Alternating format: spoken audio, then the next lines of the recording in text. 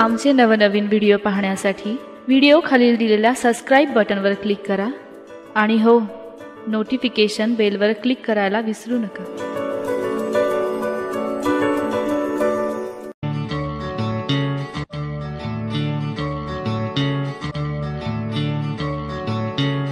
नमस्कार.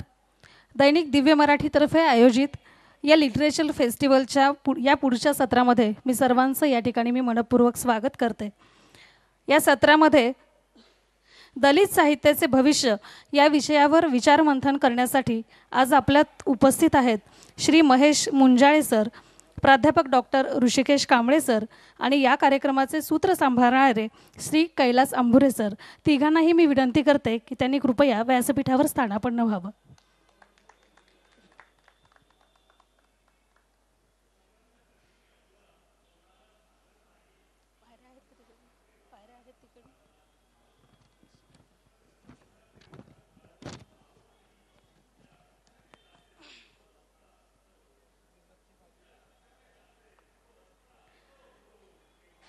शोषितांचे श्रमिकांचे अन्यायाविरुद्ध प्रबोधन व वाचा फोडणारे साहित्य म्हणजे दलित साहित्य.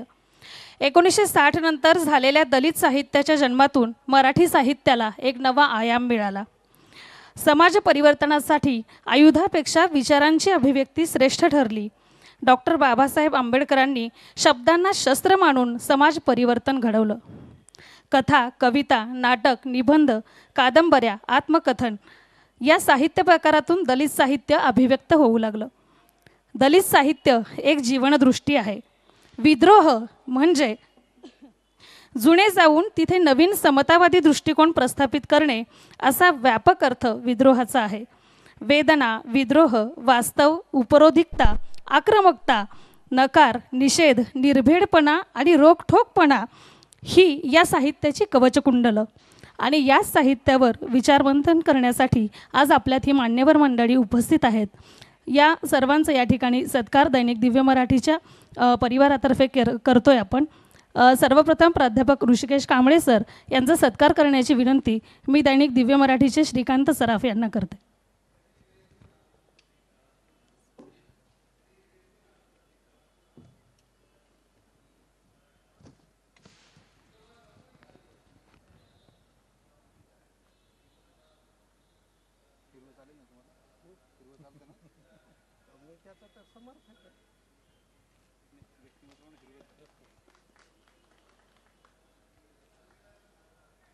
धन्यवाद सर. यानंतर महेश मुंजाळे सरांचा सत्कार करण्याची विनंती मी श्री नितीन फलटणकर यांना करते.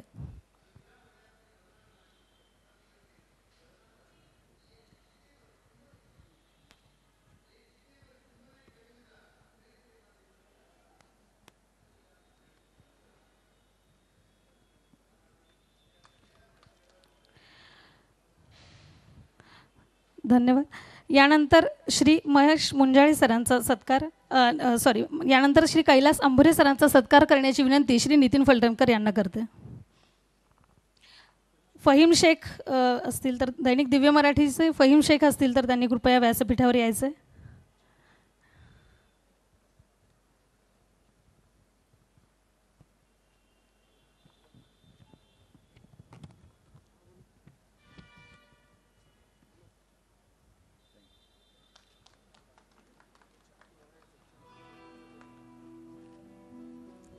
धन्यवाद. भाकरीचा चंद्र शोधण्यातच जिंदगी बर्बाद झाली. इथंपासून ते आज चौफूर उधळलेला माझा शब्द कसे सांगू तुम्हाला? आज माझा प्रत्येक शब्द आभाळ झालाय. या अनुभवविश्वानी समृद्ध झालेलं आणि वास्तवाचे चटके सोसून आलेली दाहकता यामुळे दलित साहित्य वाचकांच्या मनावर खोलवर परिणाम करतं विचार करायला भाग पाडतं. या साहित्याचं भविष्य काय? या विषयाची या या विषयावर विचार मंथन करण्यासाठी या पुढील सूत्र मी श्री कैलास अंभुरे सरांकडे देते. नमस्कार. दैनिक दिव्य मराठी आयोजित मराठी लिटरेचर फेस्टिवलमध्ये आपणा सर्वांचं या ठिकाणी मी डॉक्टर कैलास आंबोरे मनपूर्वक स्वागत करतो. आजचं हे शेवटचं सत्र जे आहे ते नियोजित दलित साहित्याचं भविष्य. या विषयावरती या ठिकाणी आपण चर्चा करणार आहोत. परंतु दलित साहित्य आणि भविष्य हे काही संयुक्तिक वाटत नाही. कारण हे दोन शब्द जे आहेत किंवा संकल्पना ज्या आहेत त्या परस्पर विरुद्ध आहेत व्यस्त आहेत. आणि त्यामुळे आपण या ठिकाणी दलित साहित्याचे भवितव्य या विषयाच्या अनुषंगाने चर्चा करणार आहोत. या चर्चेमध्ये सहभागी आहेत ज्येष्ठ प्राध्यापक समीक्षक वक्ते विचारवंत अभ्यासक प्राध्यापक डॉक्टर ऋषिकेश कांबळे.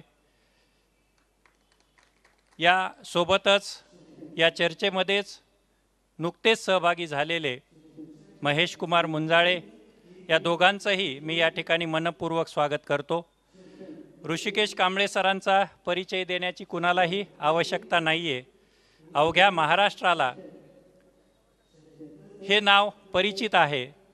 तरीही त्यांच्या संदर्भामध्ये एक अतिशय महत्त्वाचे असलेले अभ्यासक वक्ते आणि विचारवंत म्हणून ते उभ्या महाराष्ट्राला परिचित आहेत. सातत्याने समीक्षणात्मक अशा प्रकारचं चिकित्सक लेखन करणं हा त्यांचा पिंड आहे आणि त्या माध्यमातून वादाची ये गावा यासारखं असलेलं समीक्षेचं पुस्तक आणि सर्वात महत्त्वाचा त्यांचा असलेला अभ्यास म्हणजे मराठी दलित कविता आणि अमेरिकन ब्लॅक पोएट्री. हा आंतरराष्ट्रीय स्तरावरील त्यांनी केलेला अभ्यास अतिशय महत्त्वाचा मराठी दलित साहित्याला दिशा देणारा अशा प्रकारचा आहे. त्यांना अनेक मान सन्मान प्राप्त झालेले आहेत. त्यामध्ये आवर्जून उल्लेख करावा. तो म्हणजे डॉक्टर बाबासाहेब आंबेडकर. सन्मान हा नुकताच सरांना दोन हजार अठरामध्ये प्राप्त झालेला आहे आणि त्याचसोबत उदगीर होत येथे संपन्न होणाऱ्या चाळीसाव्या मराठवाडा साहित्य संमेलनाचे सर नियोजित अध्यक्ष आहेत. मी सरांचं या ठिकाणी पुनश्च एकदा स्वागत करतो. आणि नियोजित असलेले डॉक्टर प्रकाश काम कुंभार या ठिकाणी काही अपरिहार्य कारणास्तव येऊ शकलेले नाहीत. त्याऐवजी महेश कुमार मुंजाळे या ठिकाणी उपस्थित आहेत. त्यांचा या ठिकाणी मी अल्पपरिचय ठेवतो. चित्रपट कथा आणि पटकथा लेखन हा त्यांचा प्रांत आहे आणि या माध्यमातून त्यांनी इरसल पळशीची पिटी आणि बुद्ध हसला यासारखे काही चित्रपट आणि लघुपट हे केलेले आहेत. आणि बुद्ध हसला या लघुपटाकरिता आंतरराष्ट्रीय स्तरावरती त्यांची चर्चा झालेली आहे आणि कान्स महोत्सवामध्ये महाराष्ट्र शासनाकडून पळशीची पिठी हा त्यांचा लघुपट हा स्पर्धेकरिता पाठवण्यात आलेला आहे. सातत्याने ते जाती अंताच्या संदर्भाने चित्रपटांच्या माध्यमातून भूमिका घेऊन एक कला आपली सादर करताना आपल्याला दिसत आलेले आहेत. या ठिकाणी ते केवळ चित्रपटाच्या अनुषंगाने आपल्याशी संवाद साधण्याचा प्रयत्न करणार आहेत. मी परत एकदा दोघांचेही स्वागत करतो आणि आभार मानतो. आपण दलित साहित्याचे भवितव्य या अनुषंगाने चर्चा करणार आहोत. आत्ताच प्रास्ताविक करत असताना दलित साहित्याच्या संदर्भाने काही बोलून झालेलं आहे. साधारणतः साठोत्तरी कालखंडामध्ये जे काही वेगवेगळे प्रवाह मराठी साहित्यामध्ये उदयाला आले त्यामध्ये ग्रामीण साहित्य प्रवाह दलित साहित्य प्रवाह स्त्रीवादी साहित्य प्रवाह आणि आदिवासी साहित्य प्रवाह हे अत्यंत महत्त्वाचे असे चार साहित्य प्रवाह होते. यापैकी दलित साहित्य प्रवाहाने समग्र भारतीय साहित्याला एक वेगळी दिशा देण्याचा प्रयत्न केलेला आपल्याला दिसून येतो. परंतु दलित साहित्याच्या निर्मितीपेक्षा दलित साहित्याच्या संदर्भाने नकारात्मक चर्चा या निर्मितीपासनं सातत्याने सुरू झालेली आहे. मग ती समीक्षकांकडून असेल किंवा जे प्रस्थापित मराठी साहित्यिक आणि समीक्षक होते त्यांच्याकडून अशा प्रकारची केली जाणारी चर्चा असेल यामुळे सातत्याने दलित साहित्यावरती आक्षेप घेण्यात आले. या आक्षेपांच्या संदर्भाने आणि नकारात्मक चर्चेच्या संदर्भाने माझे बहुसंख्य प्रश्न असतील आणि या प्रश्नांचं उत्तर अर्थातच माझं मत असं आहे की दलित साहित्याचं भवितव्य असणार आहे. आणि त्या अनुषंगाने साधारणतः डॉक्टर बाबासाहेब आंबेडकर यांनी एकोणीसशे वीसपासनं सुरू केलेली समाज उद्धाराची जी चळवळ होती त्या चळवळीचा परिणाम भारतीय स्वातंत्र्य आणि त्यानंतर आलेली भारतीय राज्यघटना या माध्यमातून दलित साहित्याला प्रारंभ झालेला आपल्याला दिसून येतो. साधारणत एकोणीसशे छप्पन्नमध्ये डॉक्टर बाबासाहेब आंबेडकरांनी एक संकल्पना मांडली होती आणि ती संकल्पना होती दलित साहित्य संमेलन घेण्याच्या संदर्भातली. हे संमेलन सोळा डिसेंबर एकोणीसशे छप्पन्नमध्ये मुंबई येथे संपन्न होणार होतं परंतु तत्पूर्वीच डॉक्टर बाबासाहेब आंबेडकरांचं महानिर्वाण झालं आणि त्याचा परिणाम असा झाला की ही संमेलनाची संकल्पना बाळगळली मागे पडली गेली. आणि त्यानंतर एकोणीसशे सत्तावन्न हे वर्ष डॉक्टर बाबासाहेब आंबेडकरांच्या संदर्भाने शोकवर्ष म्हणून पाळण्यात आलं आणि एकोणीसशे अठ्ठावन्नमध्ये पहिलं दलित साहित्य संमेलन मुंबई येथे संपन्न झालं. तेव्हापासनं सुरू झालेला हा जो प्रवास आहे तो आजही अव्याहत सुरू असलेला आपल्याला दिसून येतो. काही प्रमाणामध्ये यामध्ये स्थितिशीलता आली त्या शि स्थितिशीलतेच्या संदर्भाने आपण चर्चा करणार आहोत. परंतु हा प्रवाह म्हणजे एकोणीसशे साठ नंतरचा प्रवाह आहे का? आणि त्यापूर्वी दलित साहित्याच्या संदर्भाने असे कोणत्याही प्रकारचे अवशेष नव्हते का? आणि होते तर ते कोणत्या प्रकारचे होते? असा माझा पहिला प्रश्न समीक्षक डॉक्टर ऋषिकेश कांबळे यांना असणार आहे. मी सुरुवातीलाच प्रारंभीच दिव्य मराठी या वृत्तपत्राचे आभार व्यक्त करतो की दलित साहित्याच्या संबंधानं त्यांनी चर्चा घडवून आणण्याचा मानस सिद्धीला नेला. या श्रीकांतजी वारंवार त्यांना फक्त सात वाजेपर्यंत थांबा म्हणा.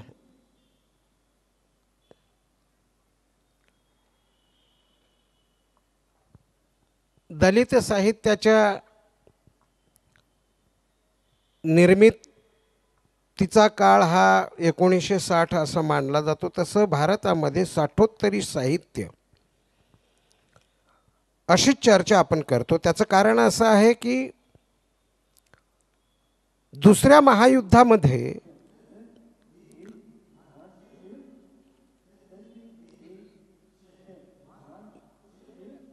नाही नाही तिथं जाऊन त्यांना सांगून येतो कडे मी.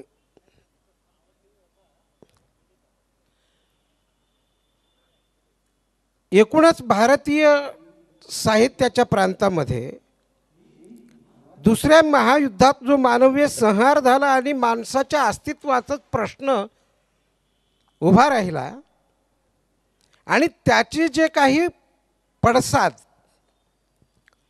हे पाश्चात्य वाङ्मयावर पडले त्याची पडछाया आपल्या वाङ्मयावरही पडली भारताची. आणि म्हणून आपण साठोत्तरी वाङ्मय असं म्हणतो. कोणतीही एखादी परंपरा जर शोधायची असेल तर ती परंपरा सहजासहजी निर्माण होत नाही. त्याला पूर्वपीठिका असते पूर्व परंपरा असते. म्हणून दलित साहित्याचा विचार करत असताना किंवा दलित साहित्याच्या चळवळीचा विचार करत असताना आपल्याला दलित वाङ्मयाच्या चळवळीची पूर्वपीठिका किंवा पूर्व परंपरा सुद्धा लक्षात घ्यावी लागते.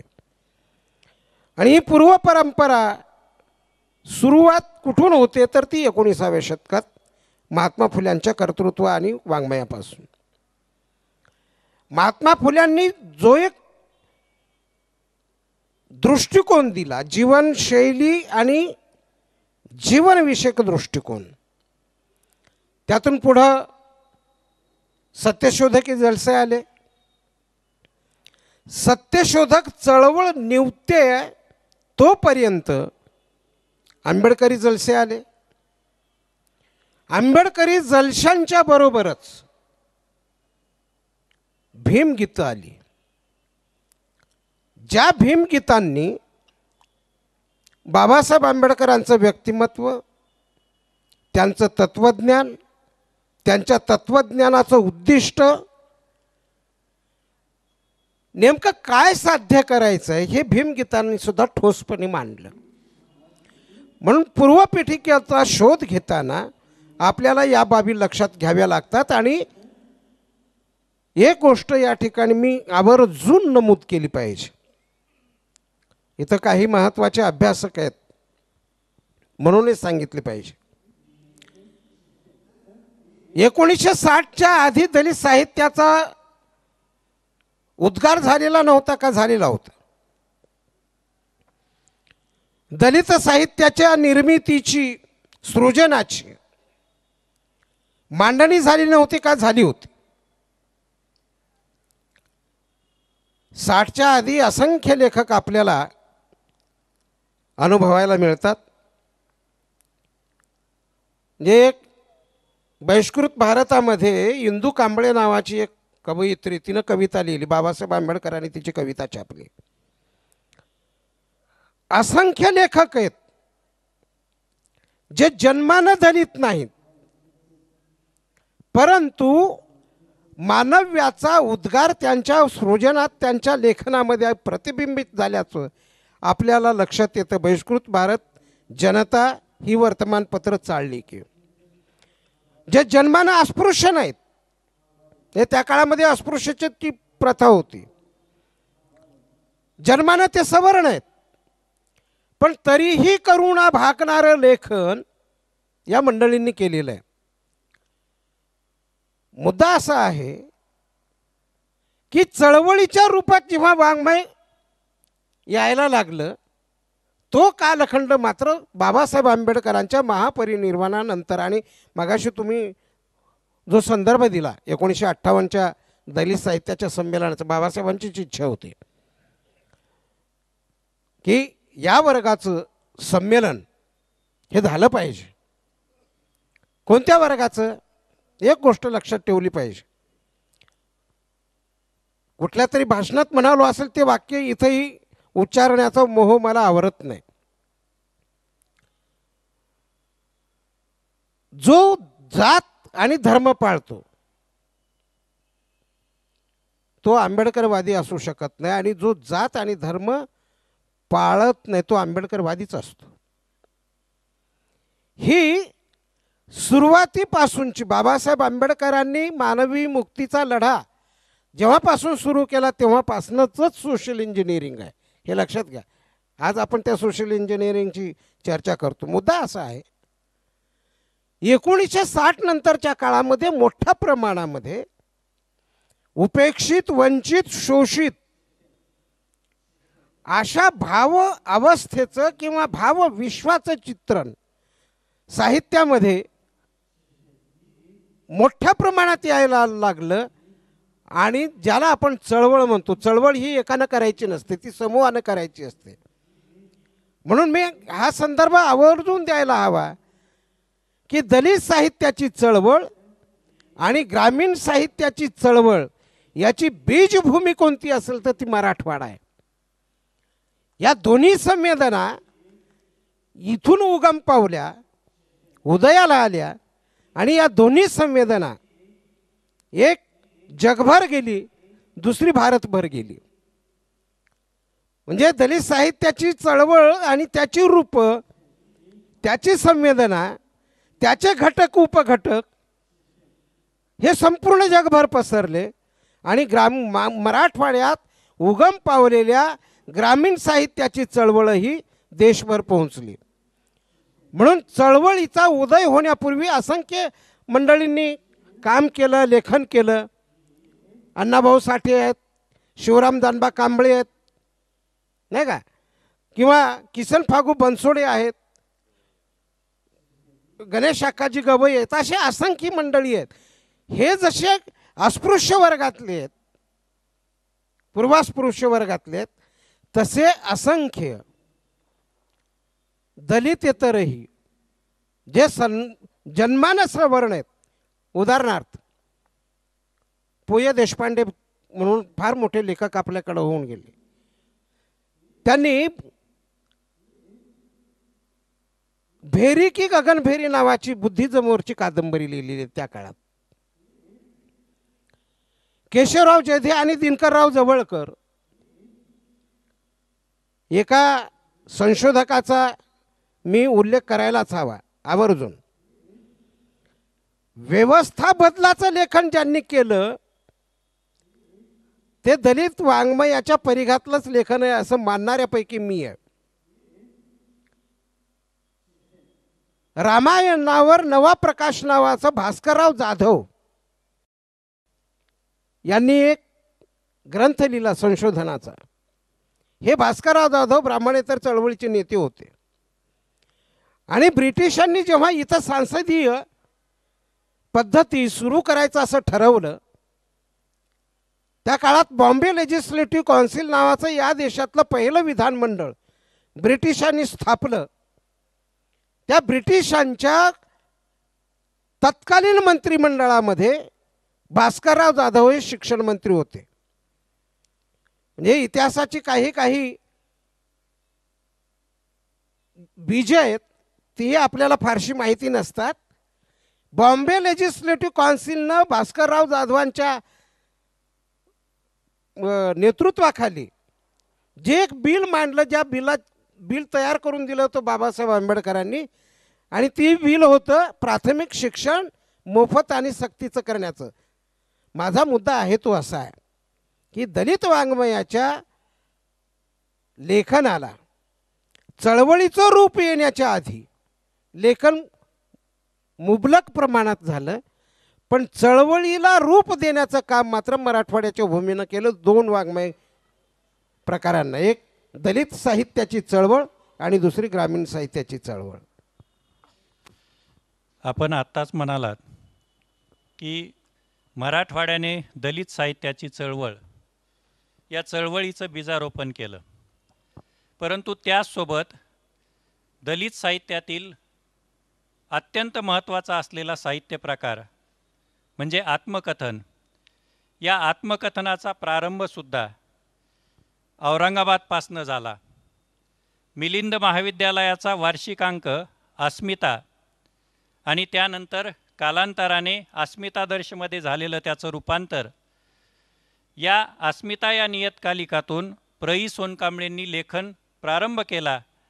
परंतु दया पवारांचं बलुतं हे पहिलं आत्मकथन पुस्तक रूपाने प्रसिद्ध झालं आणि मराठी दलित साहित्यामध्ये किंवा मराठी साहित्यामध्ये आत्मकथन या साहित्य प्रकाराचा प्रवास सुरू झाला. हा प्रारंभ अतिशय महत्त्वाचा होता. याने समग्र भारतीय साहित्याला दिशा देण्याचं कार्य केलं. हा असलेला दलित साहित्यिकांचा उद्गार जो होता तो अत्यंत महत्त्वाचा होता. परंतु या उद्गाराच्या नंतर मात्र या साहित्यिकांकडून किंवा आत्मका कथनकारांकडून मोठ्या प्रमाणात अपेक्षा होत्या. त्या अपेक्षांची पूर्तता मात्र ते करू शकले नाही किंवा आत्मकथनाशिवाय इतर साहित्य प्रकार मात्र ते हाताळू शकले नाही. म्हणजे ते रिते झाले का आणि असं नेमकं का झालं? प्रश्न मला आहे की त्यांना आहे? मला आहे. कारण ते फक्त चित्रपटाच्या संदर्भात बोलणार आहे ही गोष्ट खरी आहे. आज भारतातलं दलित साहित्य कोणतं असं विचारलं? म्हणजे पंचवीस तीस वर्षांपूर्वी आवाज द्यायला आवाज द्यायला पंचवीस तीस वर्षांपूर्वी जर विचारलं की भारतातलं दलित साहित्य भारता भारतीय साहित्य कोणतं? असं जगातल्या पटलाच्या माणसांना जर आपण विचारलं अभ्यासकांना साहित्यिकांना तर ते बंगाली वाङ्मयाचा उल्लेख करत असत. की बंगाली वाङ्मय जेवढं जीवनाचं सौष्ठव ताकदीनं उत्कटतेनं मांडणारं होतं तेवढं अन्य भाषेतलं नव्हतं. असं मानलं जात असे. त्या खालोखाल तामिळ. पण आज जेव्हा जागतिक पटलावर असं विचारलं जात की भारतीय वाङ्मय कोणतं? तर ते दलित वाङ्मयाच्या उल्लेखानं सांगितलं जातं की हे भारतीय वाङ्मय. म्हणून आपण म्हणाला ही गोष्ट खरी आहे. भाषिकदृष्ट्या सुद्धा दलित आत्मकथनांनी प्रचंड मोठी भर टाकलेली आहे. जे अस्पृश्य होते ते आणि जे अस्पृश्य नव्हते ज्यांचा उल्लेख मी पूर्वास्पृश्य म्हणून करत असतो. म्हणून अस्पृश्य होते असे लेखक आणि ज्यांच्या वाट्याला अस्पृश्यता आली नव्हती परंतु जगण्याचं कुठलंच साधन त्यांच्या हाती नव्हता असा वंचित आणि उपेक्षित असा जो समाज समूह आहे म्हणजे भटका विमुक्तांच्या त्रेचाळीस जाती महाराष्ट्रातल्या पूर्वास्पृश्य महाराष्ट्रातल्या चार जाती अशा जातींच्या मधनं आलेला लेखकांचा वर्ग जो आहे त्याची जगण्याची पद्धत वेगळी आहे. त्याची जीवनशैली वेगळी आहे. त्याचा जीवन दृष्टिकोन वेगळा आहे. त्याच्या रीतीभाती वेगळ्या आहेत. त्याच्या विधी उपासना वेगळ्या आहेत. आणि सगळ्यात महत्त्वाचं प्रत्येक जातीची स्वतंत्र अशी एक भाषा आहे. ही भाषा सुद्धा मराठी वाङ्मयामध्ये यांनी आणली आणि मराठी भाषेचा जो व्यास आहे तो कमालीचा विस्तारित केला. भाषिक सहचार्यानं मराठी भाषा समृद्ध करता येऊ शकते याचे दाखले आपल्याला संत वाङ्मयात मिळतात. जाता जाता सहज फुटनोट म्हणून सांगतो. संतांनी जे काम केलं ते आपल्याकडच्या अजूनही महत्त्वाच्या भाषा अभ्यासकांनी केलेलं नाही. छिद्र पडलेल्या रांजणामध्ये पाणी भरण्याचं काम मराठी संशोधक करतो भाषेचा. असंच चित्र आहे. आज पावेतो. अपवाद असतील ते अपवाद धरून तुम्ही मला ठोकू नका. पण भाई हा शब्द फारशी आहे. मोगलांच्या काळामध्ये राजवट राज्यकारभाराची भाषा होती फारशी. तुकोबांचा अभंग तुम्हा सगळ्यांना माहिती आहे. खेळ मांडियेला वाळवंटी घाई. नाचती वैष्णव भाई रे. नाथांनी फार मोठी भर टाकली.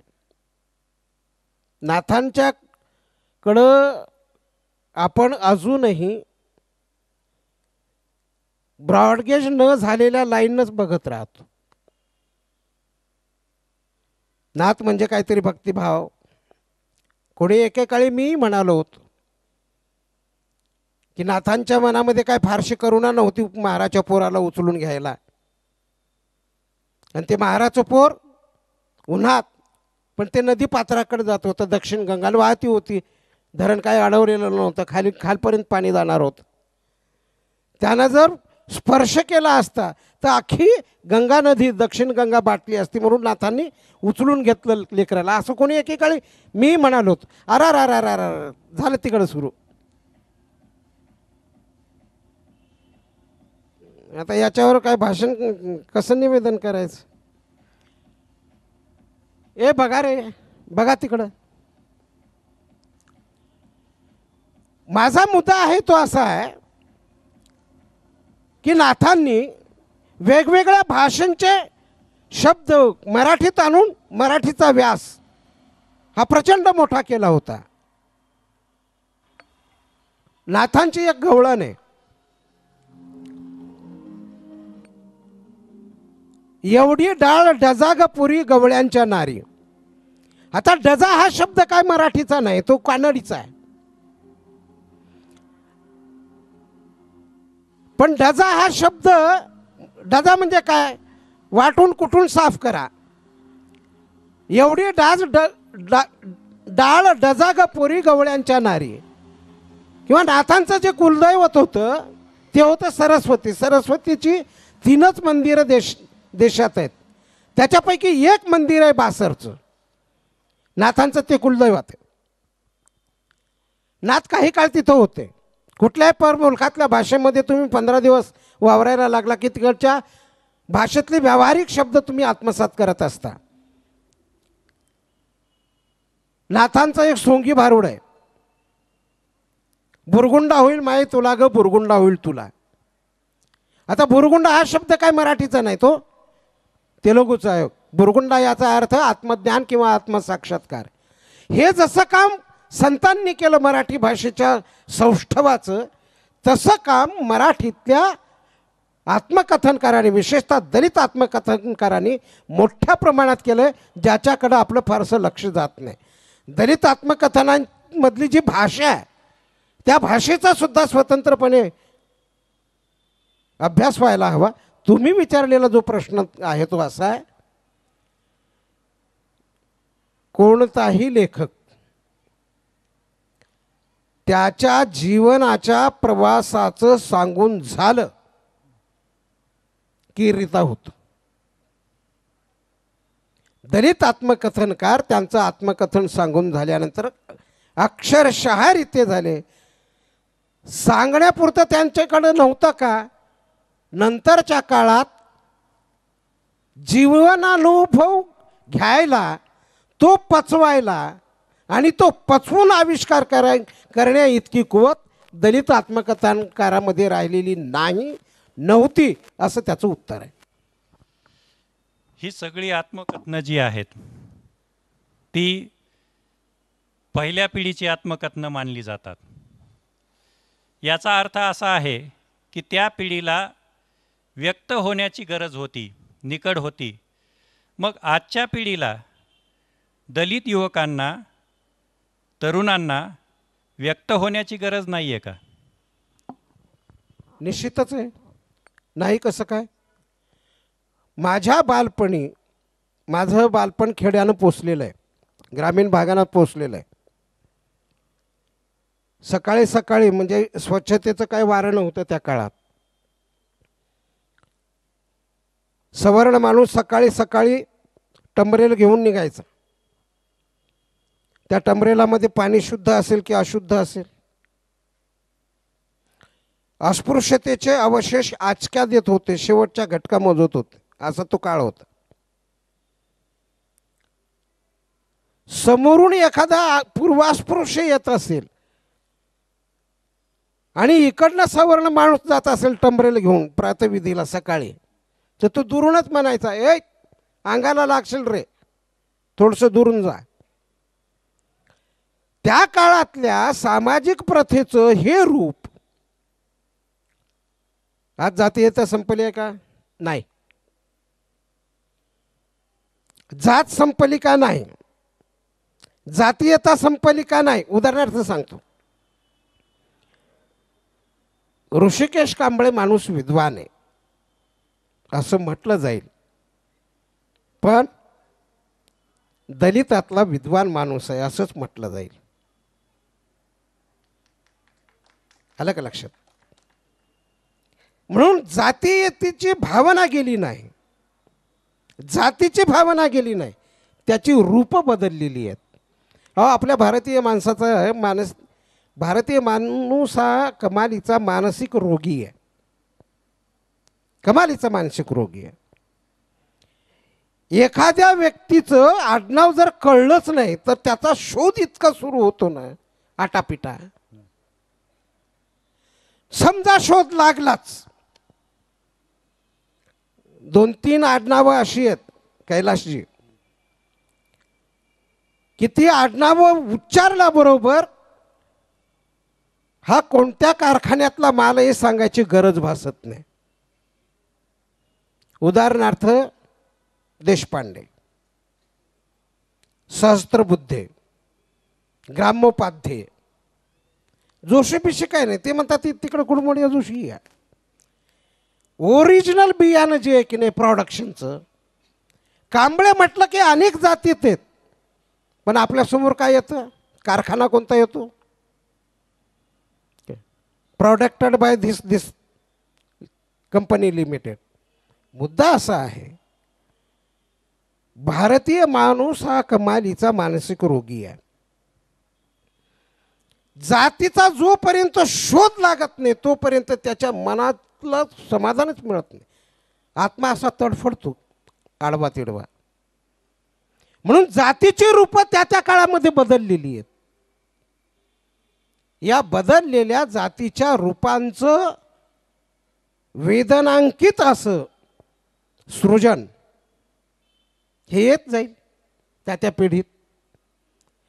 आय टी जरी आलं मला तर कधी कधी असं वाटतं की भारतीय माणूस इतका इतका चिवट आहे की तू- त्यानं चंद्रावर जरी वस्ती केली ना तरी त्याची जात आणि पोट जात घेऊन निश्चितपणे तो जाईल. आणि तिथं विचारेल की कुठल्या कुळाचा आहे. ही भारतीय मानसिकता आहे आणि म्हणून त्या त्या काळातली जी एक जात मानसिकता आहे त्या जात मानसिकचं उत्कट सृजन त्या त्या कालखंडामध्ये त्या त्या काळात येत राहील असं मला वाटतं. आपण दलित सवर्ण यांच्यातील दुराव्याचा उल्लेख केला. अशाच प्रकारचा दुरावा साधारणतः साठच्या आसपास आपल्याला चित्रपटसृष्टीमध्ये सुद्धा पाहायला मिळतो.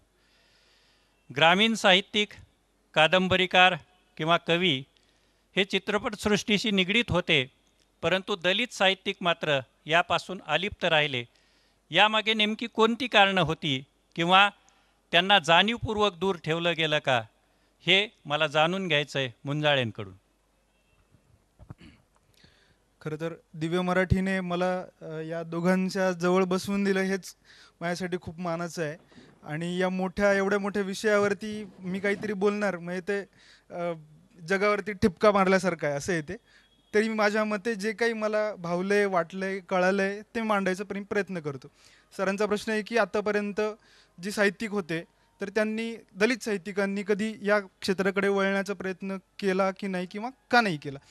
तर मला असं वाटतं की चित्रपट हा हे जे क्षेत्र आहे ते थोडं पैशावरती जास्त अवलंबून आहे.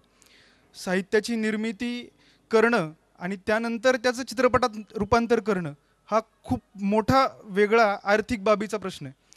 कदाचित हा अ, ही मर्यादा त्या त्या ठिकाणी आली असेल. कदाचित राजकीय समीकरणं अशी नव्हती की अ, त्या काळात कुणा तिराहिताला म्हणजे प्रस्थापितांच्या समोर दलित साहित्यिक हे तिराहितच होते. तेव्हासुद्धा आणि आजही. तर कुणाला एंट्री देणं हे खूपच अ, मोठं होतं. म्हणजे आज नागराज मंजुळेसारखा माणूस फॅन्ड्री चित्रपटातनं पिस्तुल्यासारख्या शॉर्ट फिल्ममधनं समोर आला आणि नंतर सैराटचा ब्लॉकबस्टर शंभर करोड रुपये कमवून गेला. तेव्हा त्याने अपरिहारिता निर्माण केली की नागराज मंजुळे हे नाव सतत घेतलं जावं चित्रपट क्षेत्रामध्ये. ती अपरिहार्यता निर्माण करण्यासाठी त्याला किती खस्ता खाव्या लागल्या हे आतापर्यंत बऱ्याच त्याच्या मुलाखतीमधनं आपण ऐकलेलं आहे. अजूनही नागराज मंजुळेसारख्या माणसानं त्याचं जे काही वलय तयार केलं आहे भाऊराव कराडेंनी ख्वाडा तयार करून जे तयार केलं आहे कोर्ट सिनेमाने जे काही आंतरराष्ट्रीय पातळीवरती काय काय गाजवलं आहे तरीही हे तीन चार चित्रपट एका वेगळ्या ठिकाणी जातात आणि बाकी सगळे चित्रपट वेगळ्या ठिकाणी जातात. आजही हा सिनेरिओ तसाच आहे. म्हणजे नागराजसारख्या माणसाने फॅन्ड्री केला नंतर सैराट केला दोन्ही चित्रपट चांगले वाटूनसुद्धा काही तथाकथित समीक्षकांनी हीच टिप्पणी केली की पुन्हा जातीवर उतरला. तर हे जातीकडे पाहण्याचं जे काही एक चष्मा आहे तो चष्मा अजूनही तसाच आहे. मग तो बाधक ठरतोच कुठे ना कुठे. प्रस्थापितांच्या रांगेत जाऊन बसणं हे जेवढं त्या काळात म्हणजे आत्ताच्या काळात एवढं अवघड आहे तर तो तुम्ही म्हणताय तसं एकोणीसशे साठ म्हणजे तर भीषण काळ होता. तर काय म्हणायचं की चित्रपटातनं जाती अंताची जी लढाई आहे ती लढणं हे प्रत्येक ठिकाणी आपल्याला दिसतं की आज तुमचा नायक जर मोठा उंच सिक्स ॲब्सवाला असेल तर आमचा जब्या हा काळा सावळा बुटका ठेंगणा नकटा असा आहे. तुमची नायिका जर फिगरेटिव्ह लॉजिकवाली असेल सुंदर असेल गोरीपान असेल तर आमची आरची गोल आहे जाड आहे. त्याला काही आमच्याकडे सौंदर्यदृष्टी नाही असं नाही. पण आमच्याकडचं जे तुम्ही आत्तापर्यंत पडद्यावर मांडलंच नाही. म्हणून जे काही येत गेलं तर ते दलित साहित्याचं एक्सटेन्शन असं मी म्हणतो आहे म्हणजे साहित्य म्हणजे फक्त पेन आणि पेपरवरती जे उतरले तेच फक्त साहित्य. असं जे काही कोंडण साहित्याला लावलंय ते मला असं वाटतं की आता चित्रपटांकडे थोडं वळायला काही हरकत नाही. म्हणजे आता माझी अशी मांडणी आहे की कुठल्याही दृकश्राव्य माध्यमाची आता ती सेंटर जे शहरीकरणाकडे होतं ते आता सरकत सरकत ग्रामीणीकरणाकडे आलेलं. आहे म्हणजे दलित चित्रपट म्हणा दलित साहित्यातून आलेले किंवा जातीअंताच्या लढाईतून आलेले किंवा जरी उथळ असल्या तरी पण ज्या मालिका आहेत राणादाच्या म्हणा किंवा लागीर झालं झालं जी सारख्या म्हणा तर या सगळ्या सगळ्या आता ग्रामीण भागाकडे पुन्हा पुन्हा वळत आल्यात ग्रामीण भागावरती सिनेमे तयार होत नव्हते का?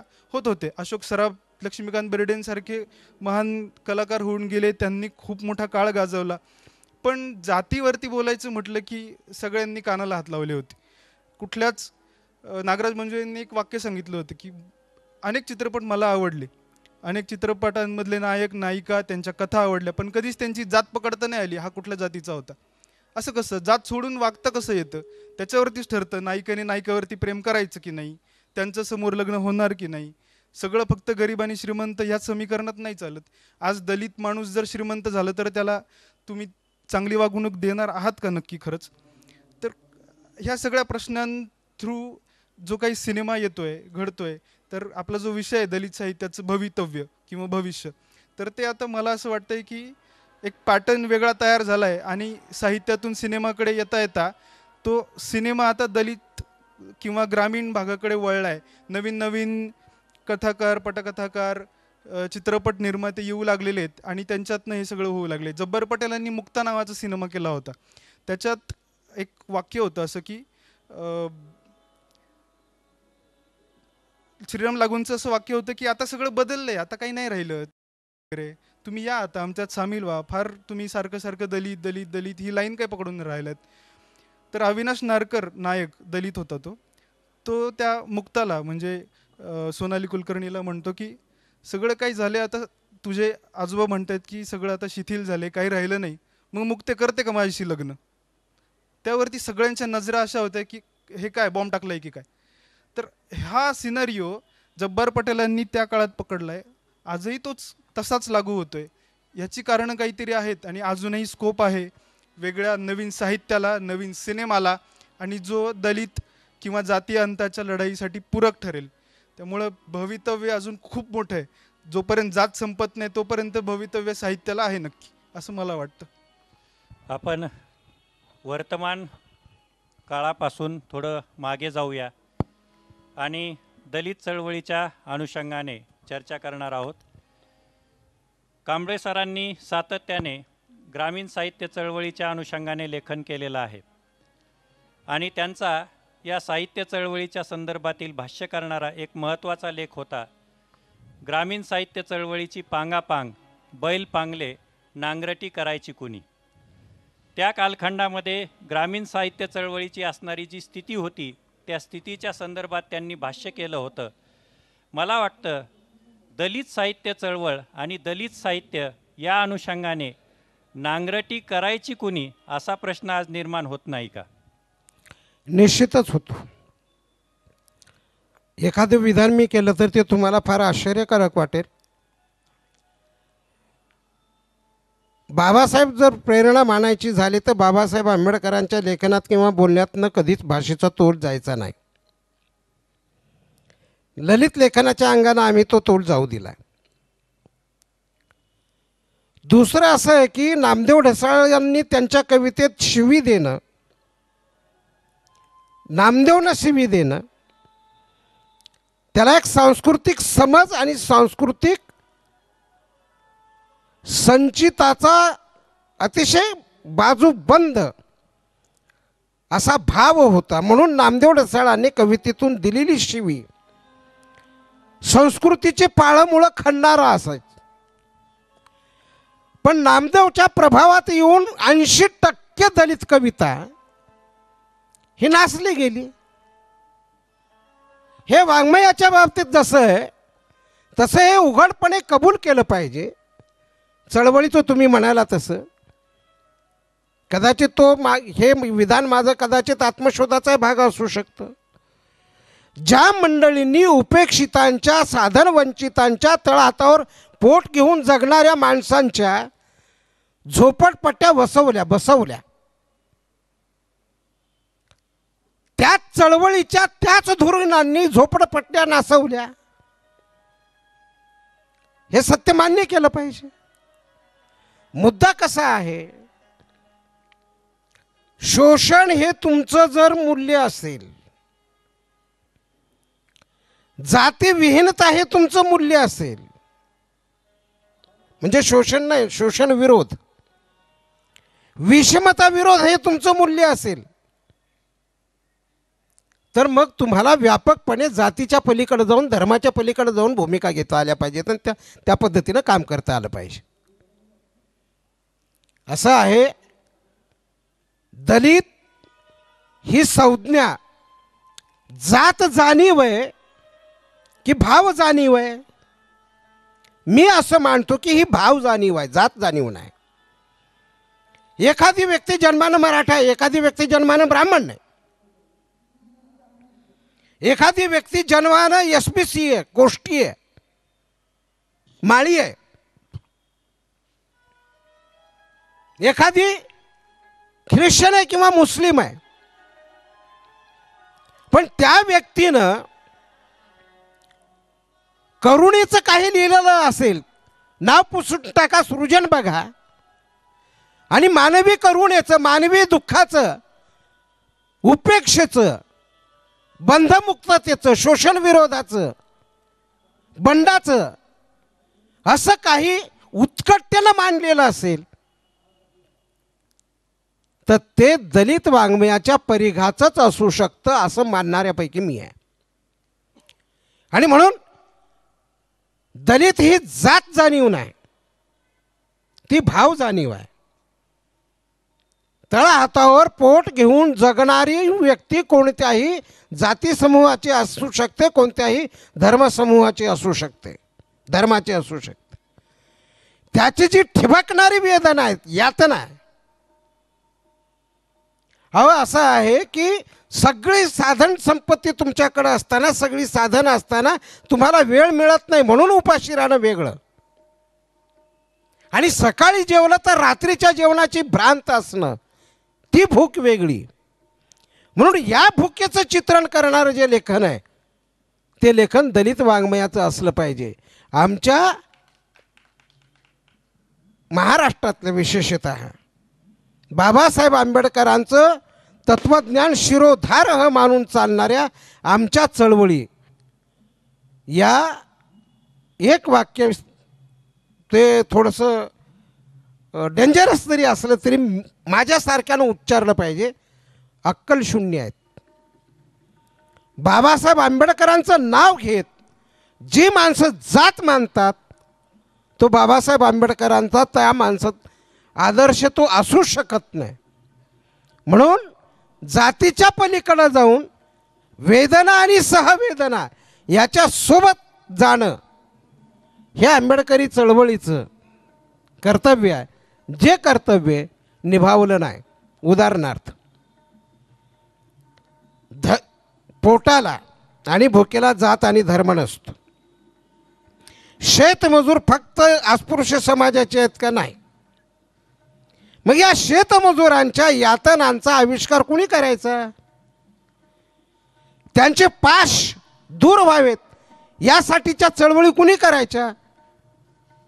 मला असं वाटतं बाबासाहेब आंबेडकरांनी या सगळ्या बाबतीमध्ये जो एक मार्ग दाखवलेला होता तो नीट समजून घेऊन भिन्न भिन्न जातीची जी मंडळी परिवर्तनाचा आयाम मागू इच्छिते त्यांच्यावर संशय न घेता सोबत घेऊन पुन्हा चळवळ नव्यानं बांधणं आवश्यक आहे. म्हणून चळवळीचा विषय सांग विचारला म्हणून सांगतो. आणि वाङ्मयाच्या बाबतीमध्ये जे एक थबकलेपण आलेलं आहे ते पुढच्या काळामध्ये प्रभावित होईल. असा विश्वास मला वाटतो. बोलताना चुकीने आपण असं म्हणालात की शोषण हे मूल्य. आणि नंतर शोषण विरोध अशा पद्धतीने आपण दुरुस्ती केली. मला वाटतं हा प्रस्थापितांचा प्रभाव आहे. कारण शोषण हे मूल्य प्रस्थापितांमध्ये आहे. उच्चवर्णीयांमध्ये आहे. आणि त्याच पद्धतीने त्याच दृष्टिकोनातून दलित साहित्याकडे पाहिलं गेलं दलित साहित्याची समीक्षा झाली. दलित साहित्याचं पुनर्वाचन पुनराकलन आणि पुनर्मूल्यमापन हे होणं गरजेचं आहे असं मला सातत्याने वाटत आलं आहे परंतु दलित साहित्यामध्ये मात्र सैद्धांतिक अशा प्रकारची मांडणी होऊ शकलेली नाही समीक्षेच्या अनुषंगाने. ती का? आणि शेवटचा त्याला जोडून एक प्रश्न विचारतो की आगामी काळात दलित साहित्याच्या भवितव्याचा विचार करत असताना दलित साहित्यिकांसमोर कोणकोणत्या प्रकारची आव्हानं असणार आहेत? अतिशय महत्त्वाचा प्रश्न तुम्ही विचारला. दलित साहित्याची समीक्षा अजूनही रांगते आहे. तिला उभं राहता आलं नाही नीट.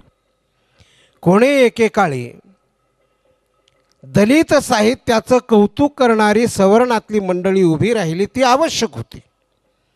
पु ल देशपांडे कौतुक करतात कुसुमाग्रज कौतुक करतात. ज्यांनी बाबासाहेब आंबेडकर आपल्या श्वासात कोंदून घेतलेला होता असे भालचंद्र फडके कौतुक करतात रागा जाधव कौतुक कौतुक करतात आवश्यक होतं. मुद्दा असा आहे की ही सगळी आस्वादक समीक्षा आहे. आज पावितोची दलित वाङ्मयाची. कठोर मूल्यमापनाची आलेली नाही. म्हणून जोपर्यंत समीक्षेचे मूल्यमापनाचे घटक उपघटक निश्चित होत नाहीत तोपर्यंत त्या वाङ्मयाचं नीट मूल्यमापन किंवा समीक्षा केली जाऊ शकते असं नाही. ते घटक उपघटक निश्चित व्हायला हवेत. आता समजा एखाद्या कवीला असं वाटलं की एखादी त्याची प्रियशी नळावर पाणी भरता भरता घामेजून गेलेली आहे पण तरी त्याला ती सुंदर दिसते. या सुंदरतेचं मूल्यमापन करणारा घटक कोणता तुमच्याकडं? नाही आहे. म्हणून दलित साहित्याची आज पावितीची समीक्षा ही आस्वादक पद्धतीची आहे. पुढच्या काळामध्ये माझा स्वतःचाही असा विचार आहे की मी गंभीरपणे याकडं वळावं. त्याचे घटक उपघटक निश्चित करावे. मग असे मी जे म्हणालो आपल्याला की फमू शिंदे हे काही जन्मानं अस्पृश्य किंवा दलित नाहीत परंतु त्यांचं लेखन आम्ही दलित लेखन मानतो. मग काय कोणते उपघटक मानले पाहिजे? कशाच्या आधारानं याची समीक्षा केली पाहिजे? मी असं मानतो की दोन घटक महत्त्वाचे आहेत यात. की जे सृजन व्यक्त झालेले त्या सृजनामध्ये स्वीकारलेल्या विचाराची बांधिलकी किती आहे? कॉन्शियस कमिटमेंट किती आहे? याला मी क जाणीव नैष्ठिकता असं म्हणतो. आणि ते किती उत्कटतेनं व्यक्त झालेलं आहे. ज्याला इंग्रजीत आपण कॉन्शियस सेन्सिटिव्हिटी म्हणू. मराठीमध्ये संस्कृतचा थोडासा आधार घेऊन मी असं म्हणेल की जाणीव संवेद्यता त्यात किती उत्कटतेनं व्यक्त झालेली आहे. असे निकष जर आपण लावले तर त्या वाङ्मयाचं नीट मूल्यमापन होऊ शकतं. म्हणून आज पावेतोची दलित समीक्षा ही रांगते आस्वादक स्वरूपाची आहे. कठोर मूल्यमापन दलित लेखकालाही आजही फारसं आवडत नाही. ऋषिकेश कांबळेने एखादा रट्टा जर मारला तर दलित लेखकच म्हणतो. मारायचं का मग? आणि इतक्या जोरानं मारायचं का? मुद्दा असा आहे की दलित वाङ्मयाचं मूल्यमापन हे पुढच्या काळामध्ये होईल. त्याचे घटक उपघटक निश्चित करावे लागतील ज्याला सौंदर्यशास्त्र म्हणतात. काही काही शब्दांचं वावडं असू नये. आमचे कॉम्रेड शरद पाटील म्हणाले की हे ब्राह्मणी सौंदर्यशास्त्र आहे आणि हे अब्राह्मणी सौंदर्यशास्त्र आहे. जिथं आपण जात जाणीव मान्य करू तिथं ही विभागणी ठीक आहे. पण जिथं आपण भाव जाणीव महत्त्वाची मानतो तिथं ही विभागणी सामाजिक पातळीवरच्या विषमतेची विभागणी आपल्याला अशी करता येणार नाही. ती वाङ्मयीन मूल्यामध्ये परावर्तित करावं लागेल आणि नंतर मग समीक्षेकडं वळावं लागेल. हे काम अवघड आहे. संस्कृत साहित्यानं तब्बल पाचशे वर्ष संस्कृत साहित्यातल्या शास्त्रज्ञांनी आपण भृतहरीचा उल्लेख करतो आपण मम्मटाचा उल्लेख करतो आपण जगन्नाथाचा उल्लेख करतो हेमचंद्राचा उल्लेख करतो आनंदवर्धनाचा उल्लेख करतो असंख्य साहित्यशास्त्रज्ञ संस्कृतमधल्या आचार्य वामनाचा उल्लेख करतो.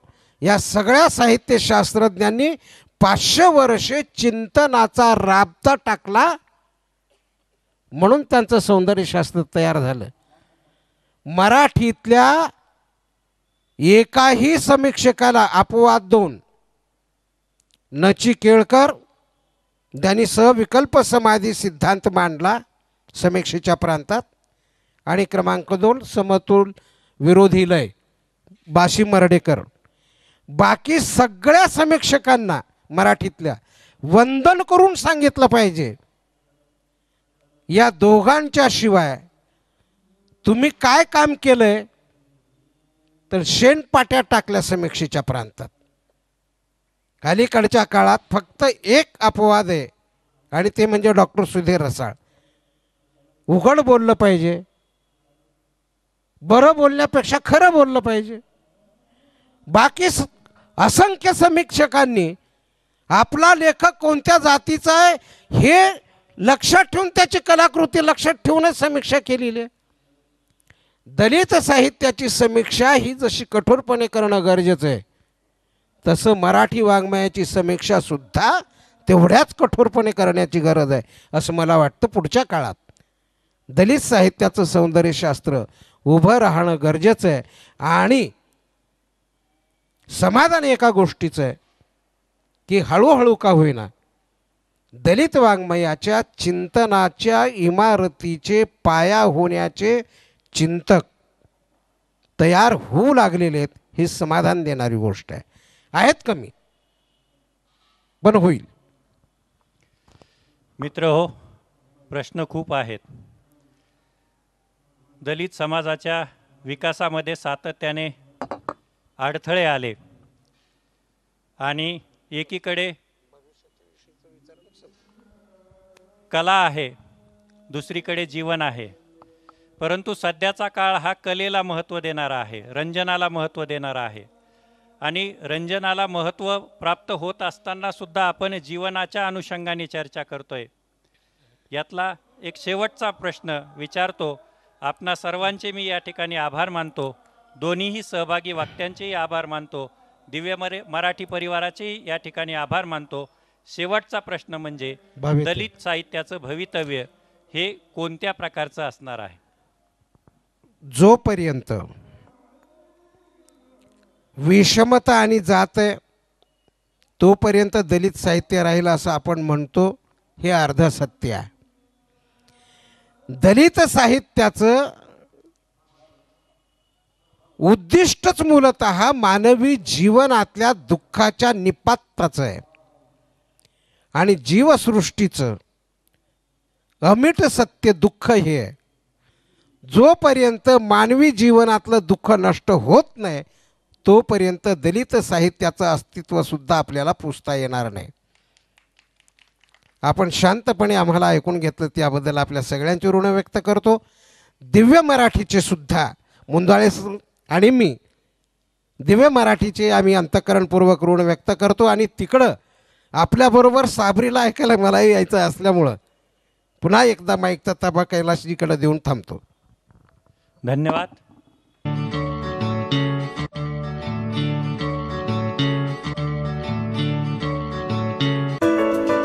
आमचे नवनवीन व्हिडिओ पाहण्यासाठी व्हिडिओ खालील दिलेल्या सबस्क्राईब बटनवर क्लिक करा. आणि हो नोटिफिकेशन बेलवर क्लिक करायला विसरू नका.